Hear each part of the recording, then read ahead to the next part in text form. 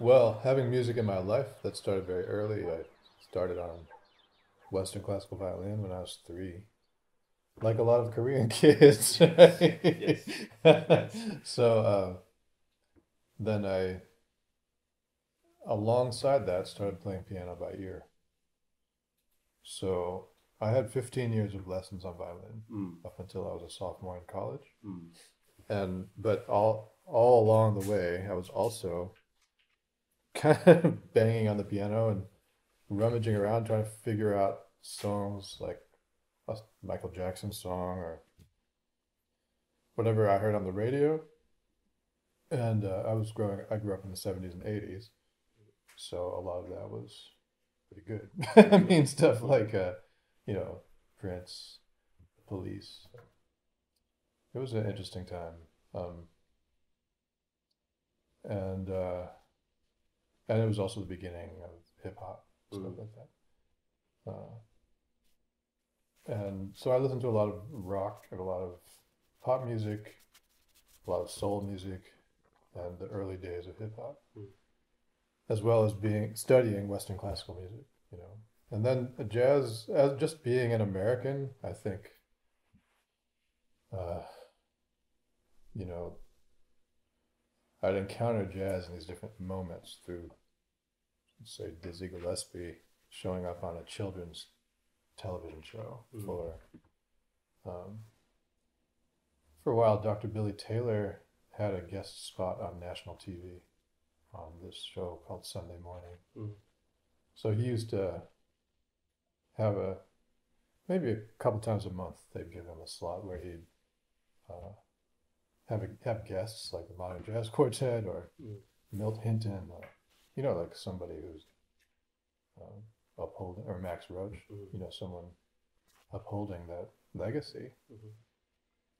So those were moments I remember. Um, certainly, Wynton Marsalis came to prominence when I was a teenager, and that was very. Um, it had a huge impact across the board. I mean, people probably don't directly associate me with him, but actually, his coming to prominence with his band, and I mean, it was really a band, you know, and seeing the band in action in different contexts. I remember they played at the.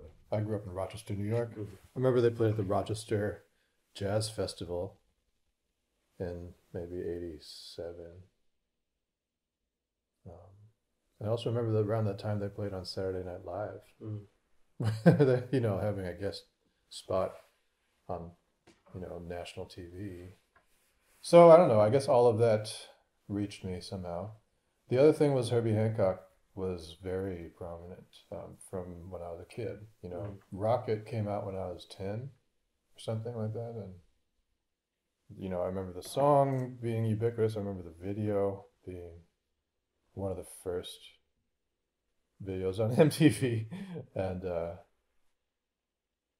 and you know, it wasn't about him as I mean, he occupied a different kind of space than the prevailing stuff that was on MTV. And, then, and I remember that performance on the Grammys when they did that piece, and they did that piece live, and all the robots came to life. It was yeah, like revolutionary, you know. And then um, my high school, so that was when I was in middle school. You know, then my high school had a uh, jazz ensemble, and you know, I'd just basically been improvising Mhm. my entire life on the piano, so I didn't really know anything about. I mean, I had some, the- I had learned some theory, uh, but I didn't have any foundation in Mm. language of this music. Mm. Um, so I auditioned and I kind of did my imitative, ignorant, like I played something that I had heard High recorded. school, right? Yeah, this was when I was, um, school. I must have been 14, 13 or 14 when I auditioned for this band. Mm. The guy said, um, I think what I was, I had heard McCoy Tyner on Marian McPartland's show. and that was my first sort of like, oh, what's, what do they do? I don't know what this is, but Mm. I put, you know, let me try it. And I didn't know what, I didn't have any sense of the order of it. So I was sort of imitating just the surface Mm. quality of it. Um, and so I just sort of made my own creation that was kind of a just like a nonsense, a sort of like a, you know how um, the way that babies learn to talk is they first babble for a long time. So I was sort of babbling, you know, on the piano. uh, I had a sort of babbling version of McCoy Tyner playing Mhm. Cottontail by Duke Ellington. Nice.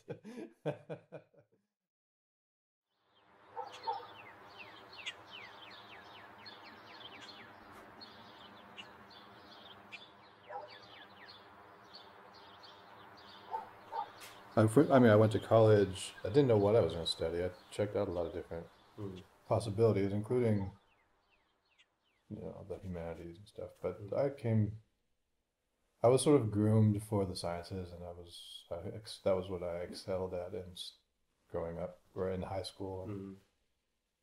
and that just seemed like a, I think, to my family and, you know, the kind of culture that they came from, which was Mhm. like upper middle class educated Indian immigrants Mhm. who had, in particular, scientific and Mhm. technical training, Mhm. and that's what they kind of valued. That's what they thought of as an education.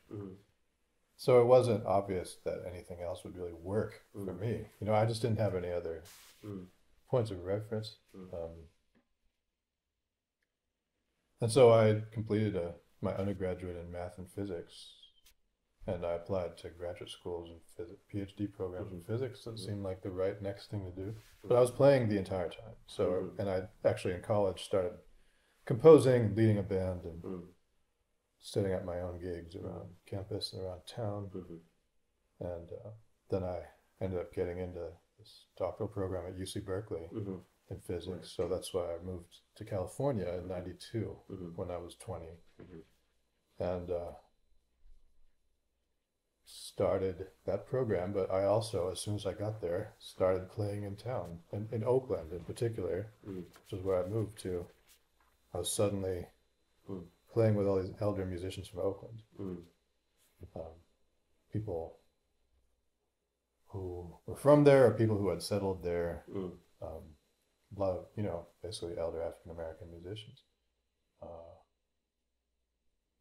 and I remember Pharoah Sanders was living there at the time. So Oh. he used to, I, I was playing at this jam session and he used to come around and Wow. I played with him like maybe four or five times. Go. Yeah, I mean, played.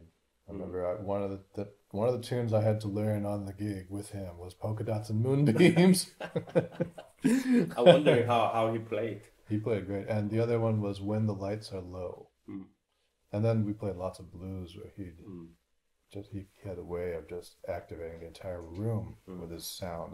It's sort of like when you're in contact with it in that kind of proximity in this club that was maybe the size of this kitchen or I don't Mm. know, like maybe a little longer, but we were just all thrown in together, you know. It was very much just a neighborhood Mm. spot that had no kind of luster to it or anything. It was just a place where people hung out and they had jam sessions on Sunday nights. Wow. And I lived across the street. Yeah. So they're like, you hey, that kid. Electric. yes, exactly. Yeah. You heard about that. So, um, you know, I just, then one thing led to another. and I started getting involved in different musical projects Mm. Or getting asked to, getting called to play. So then after a couple of years, I had this change of heart and I was like, you know, I was doing fine in physics, but I, my heart wasn't there and my heart, I really felt um, Mm. activated by music in a way see. that felt important and necessary. And I also started to see a path for myself as an artist. A few different things happened to me around the same time Mm. in the year 94 to 95, Mm. the academic year. Mm.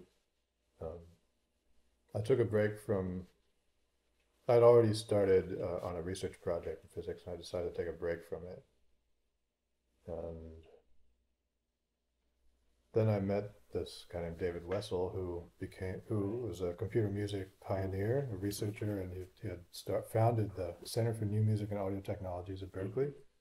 He introduced me to George Lewis, the Mhm. trombonist and Mhm. composer, the AACM member, Mm. um, who became one of my primary mentors. Mhm.